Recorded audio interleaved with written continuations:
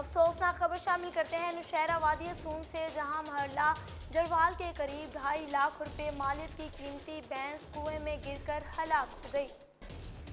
तफसीत के मुताबिक नुशहरा वादी सून मोहल्ला जड़वाल में मोहम्मद असमद नामी शख्स की तकरीबन ढाई लाख मालियत की कीमती भैंस कुएँ में गिरकर हलाक हो गई। वाजिया रहे कि दो दिन पहले सहराल में इसी तरह कुएँ में एक शख्स गिरकर जान की बाजी हार गया। अहल इलाका ने शदीद एहतजाज करते हुए इंतज़ामिया से मुतालबा किया है फ़ौर इस कुएँ को ख़त्म किया जाए या डाम दिया जाए, ताकि कोई मजीद जानी नुकसान होने से बच जाए।